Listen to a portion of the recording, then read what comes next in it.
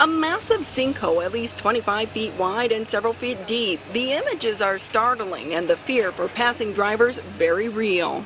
We were just driving down Chene, and the next thing you know, we just missed this giant sinkhole. It's amazing that we didn't fall in. Pastor Barry Randolph and his niece narrowly missing the huge hole as they drove down Chene near Medbury. At the time, the sinkhole wasn't marked, alerting them and other drivers to the danger. I thought perhaps a gateway to the other side had finally crinkled and cracked, opening up a putrid passageway in the middle of Chene Street to Beelzebub's bungalow many, many miles down. I don't know. As I stared into the darkened void, imagining the hordes of devils soon to spring forth, I couldn't help but ponder. How deep does that hole go? Neighbors say crews were out here last Friday to patch the roadway. Then this happened sometime today. You can also see all that water gushing out of there, and I don't know how deep it is, but somebody could have been seriously hurt. Within an hour of alerting Detroit Water and Sewage Department to the caving roadway, crews arrived to begin repairs. For on this hallowed day, sweet, sweet Mama Earth opened up her gaping and gaseous orifice to finally allow the darkened one to claw his way out of the shadow zone and into our luminescent heaviside lair, like Krueger into the Thompson's tub, and my consciousness is Nancy's open thighs. I don't know. I can only hope my vexed savior ascends, and that my servitude to the one true maestro of mayhem can finally be proclaimed.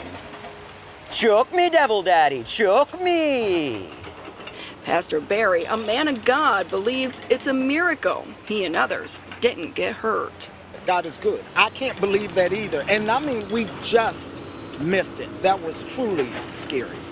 Through the holographic plane of existence that flickers and fades, like an Alf rerun watched at 3 o'clock in the morning whilst your sleeping stepdad slumbers and snores, I now see this world as evanescent as I lock eyes with the legion of the underworld who will stand shoulder to shoulder with me and see me as more than Mark who works at Arby's, see me as the true soldier of Samhain that I really am, and together we will chant into the brightened fray, stepdads be damned and naysayers be gone, for I am the prince of Purgatoria. I am the infernal firstborn son of Lucifer. I am Gordon Shumway the rogue, last son of Melmac, and the luckies of this world didn't even stand a chance.